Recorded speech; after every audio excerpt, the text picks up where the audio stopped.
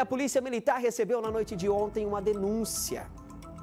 Ali na rua Sérgio Ribeiro Silva, no Jardim Flamboyant, havia uma motocicleta abandonada. A polícia recebeu essa informação, de posse dessa informação, a PM foi até o local indicado na denúncia e conseguiu encontrar essa motocicleta aí. Após a checagem no sistema, os policiais constataram que a moto era furtada. A moto foi recolhida e será devolvida ao proprietário, né? Mais uma moto devolvida ao proprietário. Porque o que, que acontece? Muitas vezes esses indivíduos aí, eles agem da seguinte forma: eles roubam essas motos para praticarem furtos aqui na nossa cidade, né? Rouba a moto, descaracteriza a moto, vai lá e começa a praticar furto e quando eles não querem mais, eles desovam.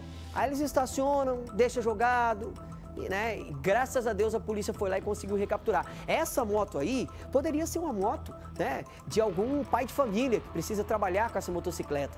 Parabéns à Polícia Militar aí recuperando essa motocicleta e devolvendo ao proprietário.